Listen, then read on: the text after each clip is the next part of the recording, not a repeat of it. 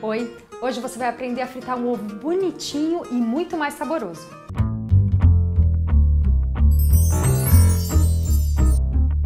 Essa dica aqui é para quem gosta de fazer bonito com os amigos e a família. Hoje a gente vai fritar um ovo dentro do anel da cebola. E para isso você vai precisar de uma cebola, a maior que você encontrar. E aí vamos cortá-la ao meio primeiro.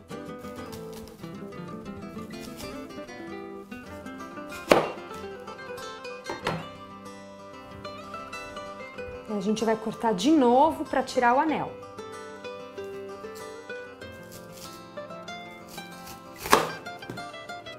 Agora a gente tira os anéis delicadamente para não quebrar.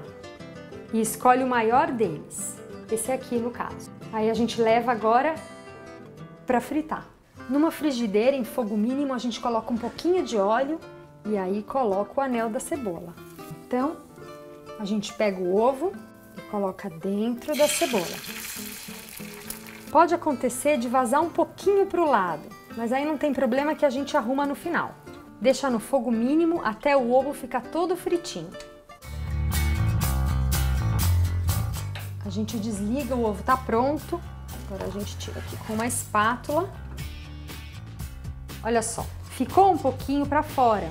Essa rebarbinha que ficou aqui é normal, tá? A gente só pega uma faquinha e corta, com bastante cuidado, tá? A gema tá molinha.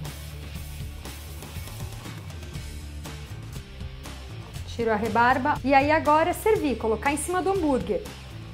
Com a cebola fica uma delícia, porque a cebola pega o gostinho do ovo, o ovo pega o gostinho da cebola, fica muito bom.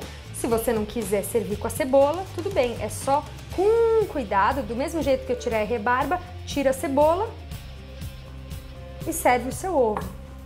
Gostou? Olha que bonito que ele ficou. Por hoje é só.